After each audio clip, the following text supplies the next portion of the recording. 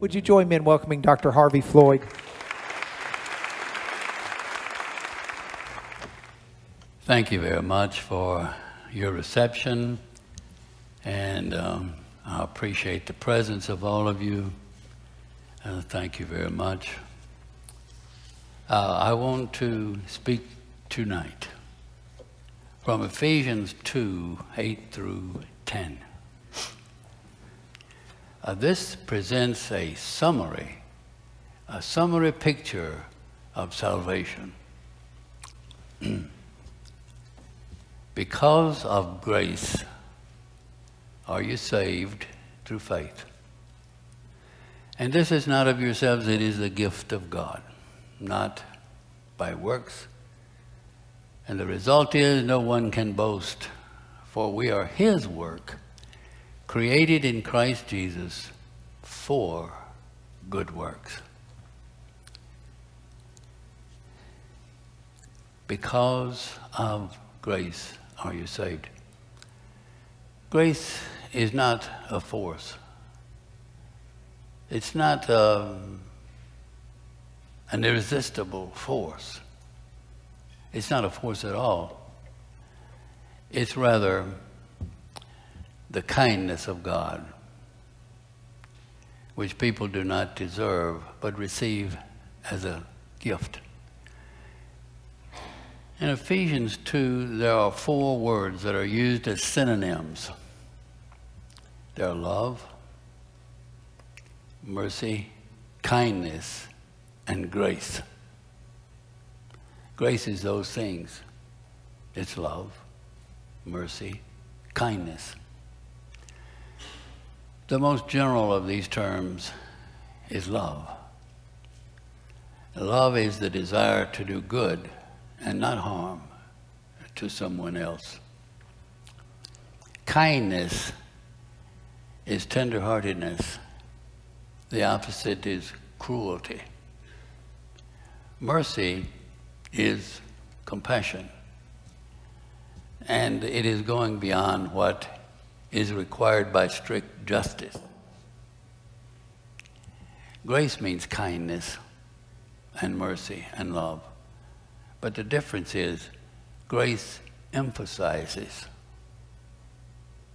that the kindness is undeserved.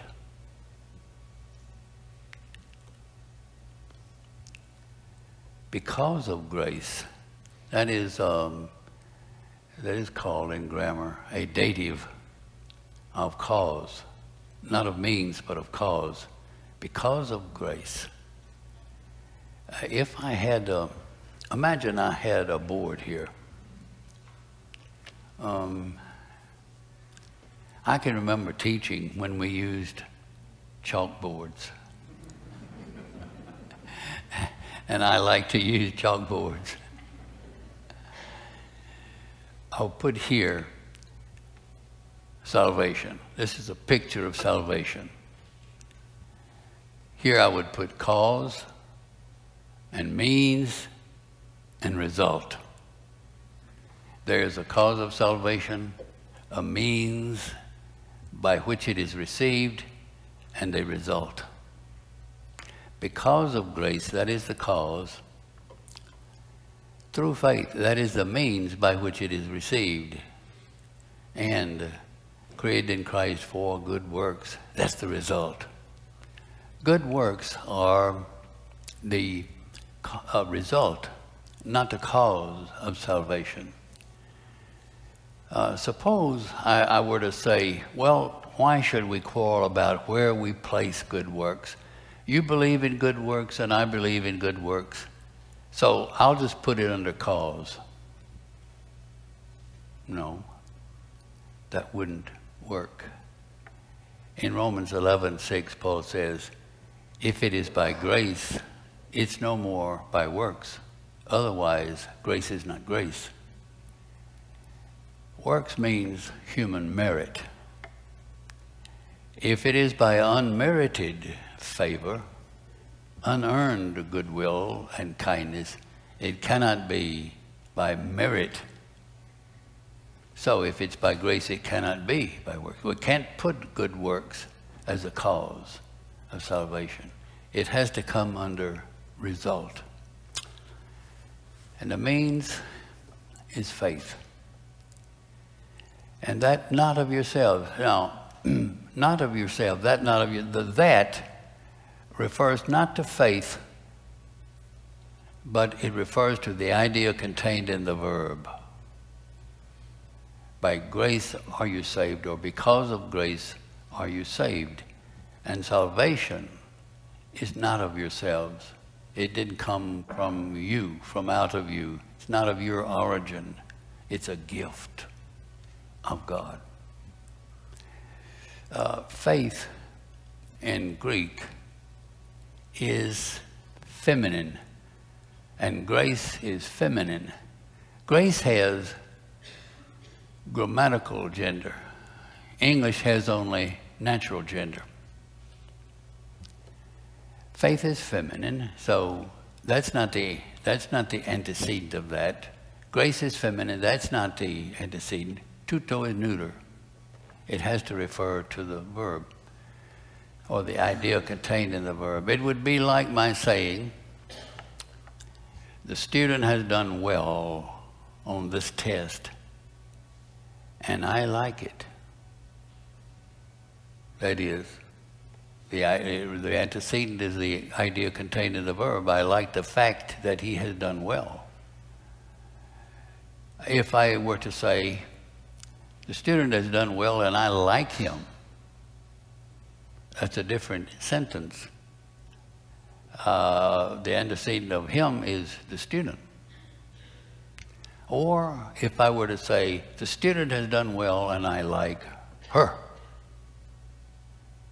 Again, the antecedent would be student.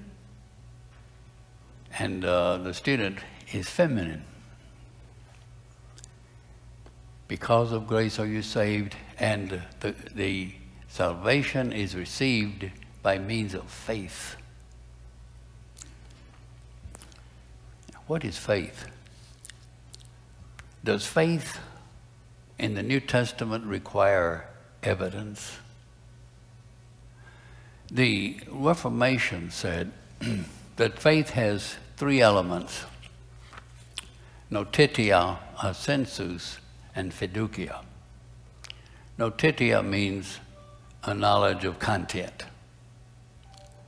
Um, it's not enough to say, I believe whatever somebody says I'm supposed to believe.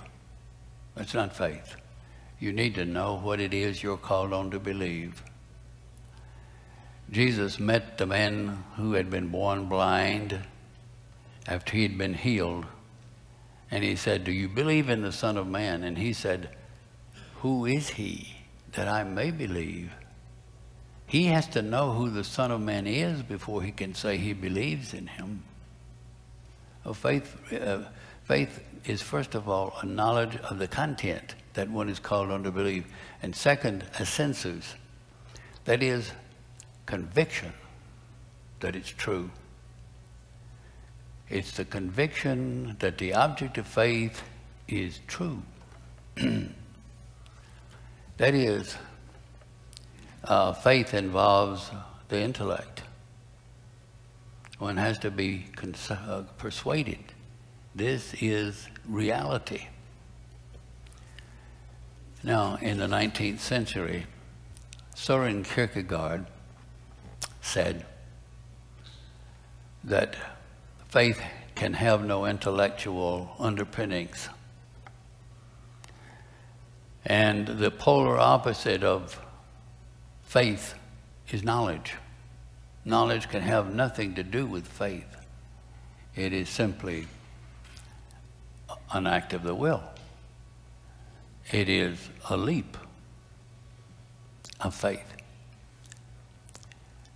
Suppose, Kierkegaard said, uh, someone wants to acquire faith And he wants to believe not as a cobbler or tailor or common folk believe, but he wants to understand himself in his faith.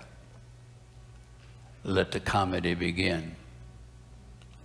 He reaches the point where the impossible becomes possible, it becomes probable, and uh, he comes to the place where he almost knows, or as good as know, good as knows, the object of faith. Then he discovers something else. It is impossible to believe because the object of faith is the absurd. Well, if the object of faith is the absurd, of course, you cannot give any evidence for it. Um, it has to be um, accepted uh, apart from rationality. Uh, one just says, I want to believe it, and I'm going to say, I believe it, I accept it. uh, he said, suppose a person were to say, well, suppose a person were to object to someone who has chosen Christ as Savior, but you might have been saved some other way. Kierkegaard said there's no answer to that. That's strange to say. A person cannot say why he has chosen Christ as his Savior. I've chosen Christ as Savior because there is no other Savior. There are teachers and guides and gurus, but no other Savior. And he says, it's like falling in love. Someone says, but you could have chosen some other girl. There's no answer to that if a person can say why he's chosen this girl instead of that girl, he is eo ipso. That is, for that very reason, not a lover. And if a person can say why he has chosen Christ, he is eo ipso, not a believer. Oh, that is very, very strange. Now, let's take this idea that the object of faith is the absurd. Let's take it out to its logical extension.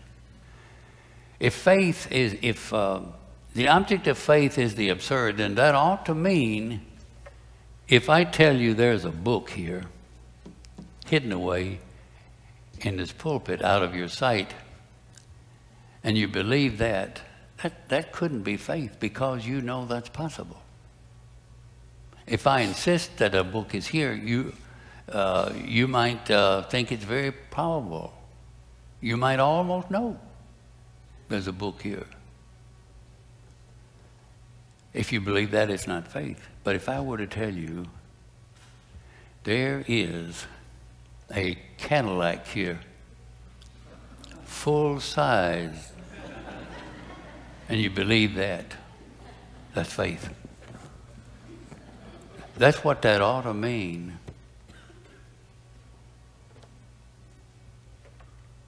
But who would believe that? Uh,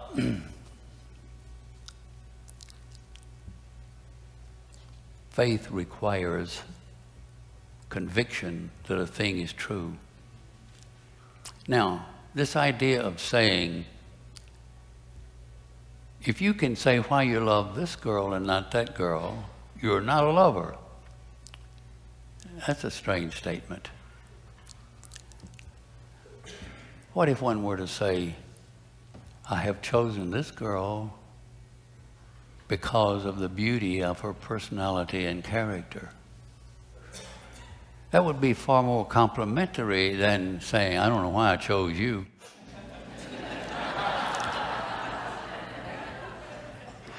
I could have chosen someone else just as well.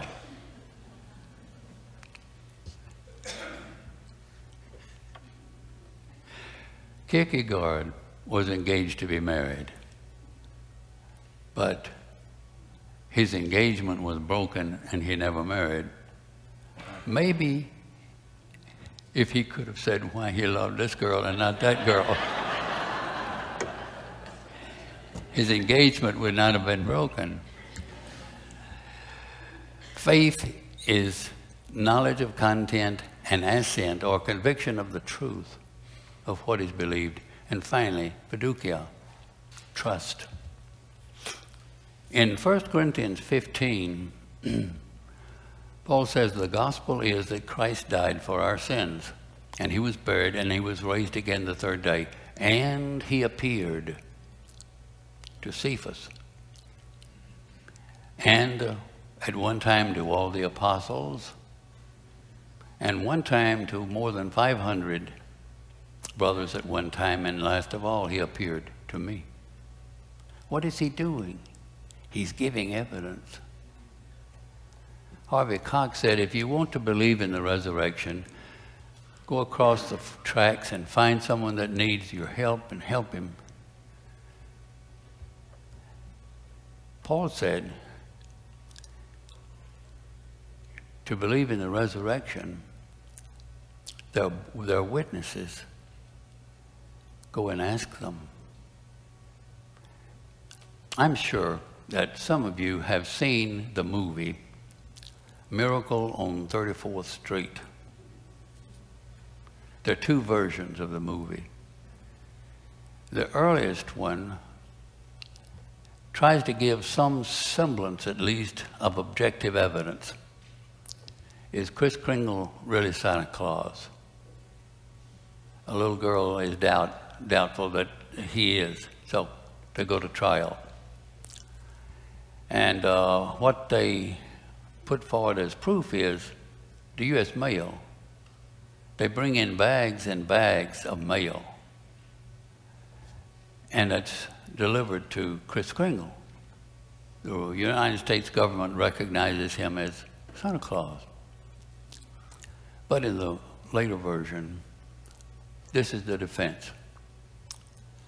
A little girl brings a Christmas card up to the judge, and he opens it, and there's a dollar bill in it with In God We Trust circled in red. And the judge says, the government has decided to say that we believe in God and we put our trust in God. And the judge said there is no evidence for that. We just believe it. We have made the decision to put our trust in God. That's Kierkegaardian. And in many places, Kierkegaard, unfortunately, has won.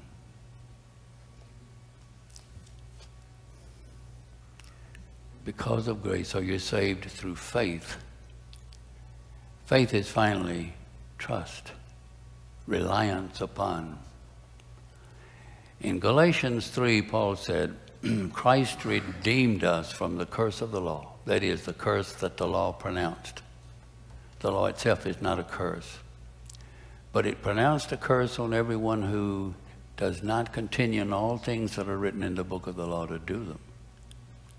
Christ redeemed us from that curse of the law by becoming a curse for us. And what can we do with that? We can't add anything to it. He redeemed us from the curse of the law. He paid a tremendous price and set us free thereby from the curse the law pronounced. We cannot add anything to it. All we can do is say yes. The gospel is good. It is good news. Yes. All we can do is receive it. And the name of the act by which we receive it is faith. And then there is a result. Um, so that the result of being saved by grace through faith and not by human merit is no one can boast. Uh, no one can strut and prance before God like the Pharisee in the parable of Jesus. God, I thank thee that I'm not like the rest of men.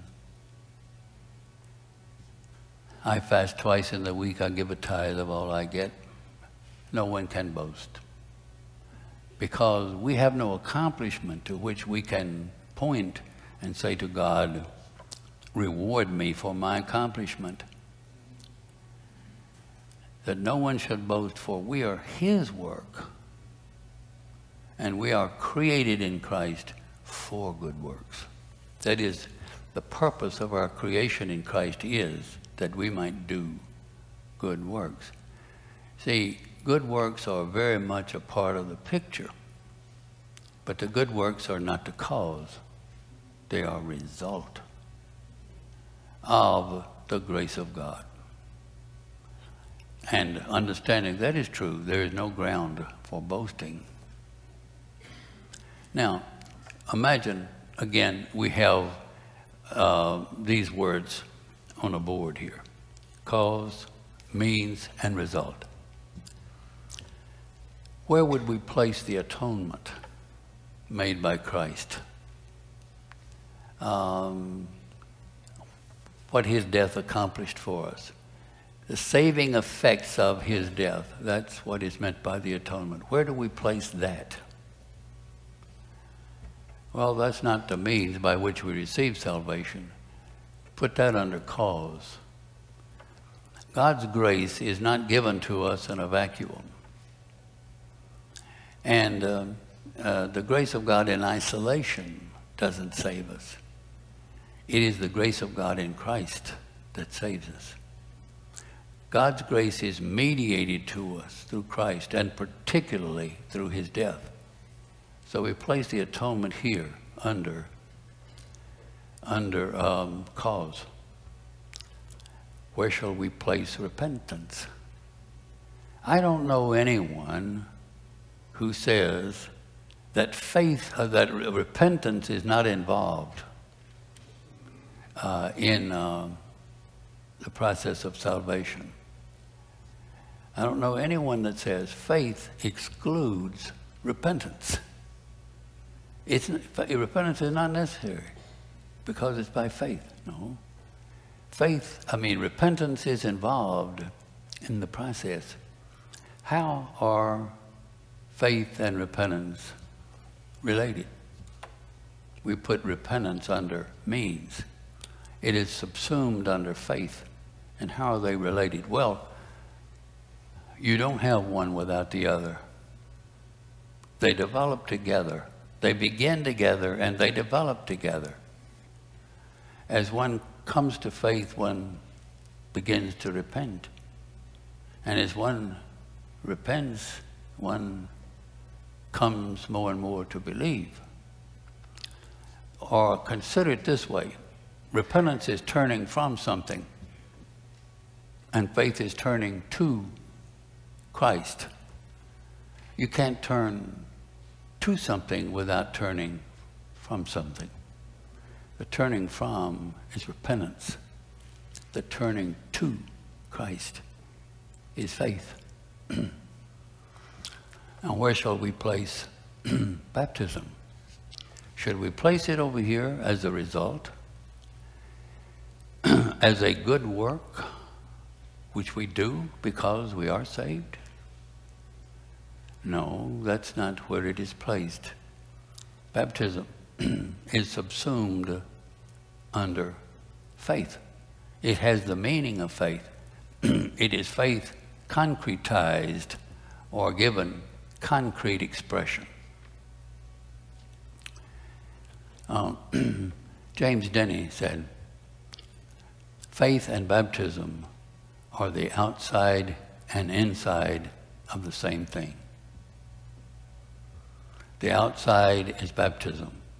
The inside is faith.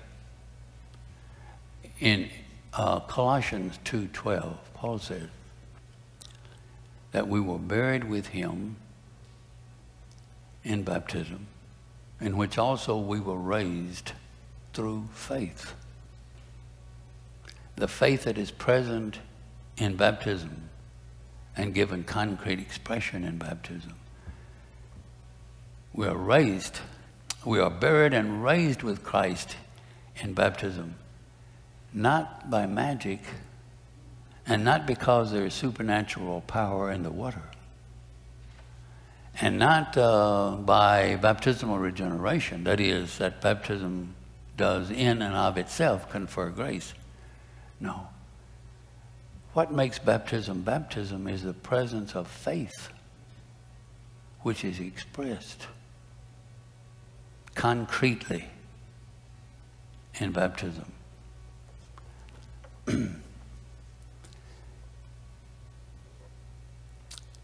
there is a um, famous British Baptist scholar, George Beasley Murray, who said, when we look at the New Testament texts that speak of baptism, it's amazing uh, the grace that is said to be available for man in baptism.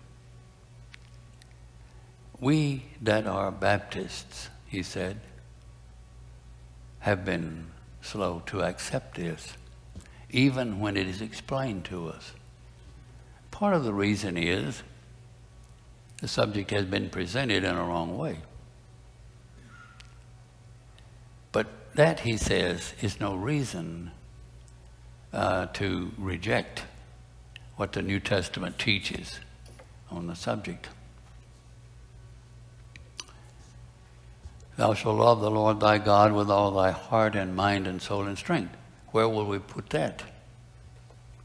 Place that under result. It's not the cause, it's not the means, it's a result. We love God because he first loved us. we learn of God's love from the gospel. And we love because he first loved us. Pure religion and undefiled is to visit the widows and orphans and to keep oneself unspotted from the world. Where do we place that? Place that too under result.